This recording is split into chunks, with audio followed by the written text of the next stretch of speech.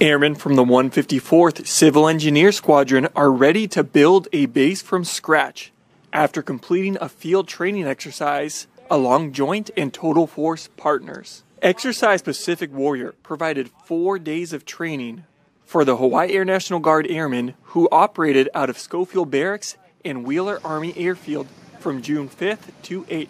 We are essentially in a deployed environment, so in order to keep this setup running. As soon as we get here, we put up all of our tents. It's important to get that done your first day here, so we do have shelter to sleep under that first night.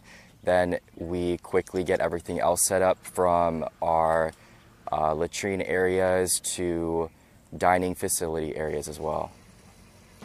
These National Guard participants effectively doubled down on their monthly drill training by merging their May and June musters into an extended super drill. Civil engineer airmen specialize in a variety of career fields involving emergency managers, structural experts, and HVAC technicians. We're 100% expected to go out of our way to integrate with the rest of the squadron and make sure that we're all pitching in, whether we understand exactly what we're doing or not. We're all learning together and we're all making it happen.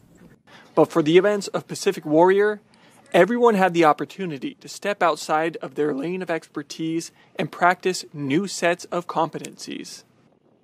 Just like any other deployed environment, partners from the active duty, Guard, and Reserve U.S. Air Force components work together as a cohesive force.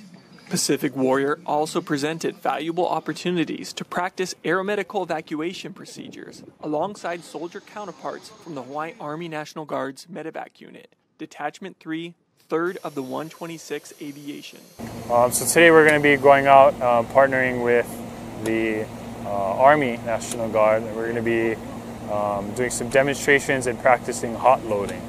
Um, so they're going to be able to run the helicopter up, blades turning, um, and we're going to be able to load litters into the aircraft if we needed to medevac someone.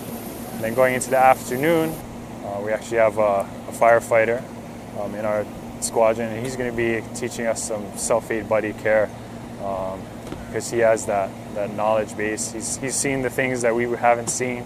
He knows uh, how to deal with these situations.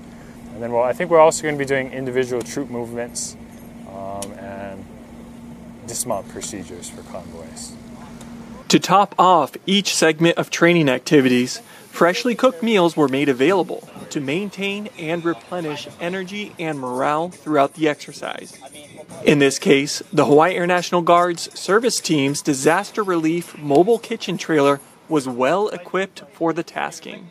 While the days of Pacific Warrior proved to be long and physically intensive, some of the deployment accommodations turned out to be well above par for a number of the participants. People would definitely be very surprised to see what we're capable of uh, offering to our airmen in a deployed environment. I'll say it's definitely a treat for me. Um, I don't sleep in AC at home, um, so coming out to the field and getting a AC room is definitely a treat. Uh, the water pressure here is a lot better than it is at home.